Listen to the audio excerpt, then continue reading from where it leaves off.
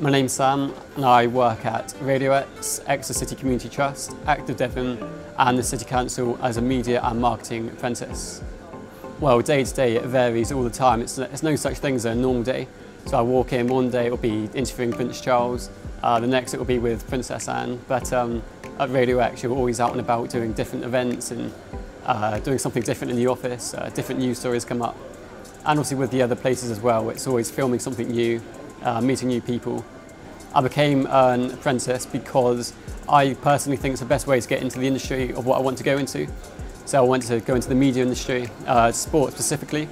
You make so much more contacts doing an apprenticeship, you meet so many more people, and I think it's the best way to start a good career. Yeah, Exeter College has been fantastic for me personally.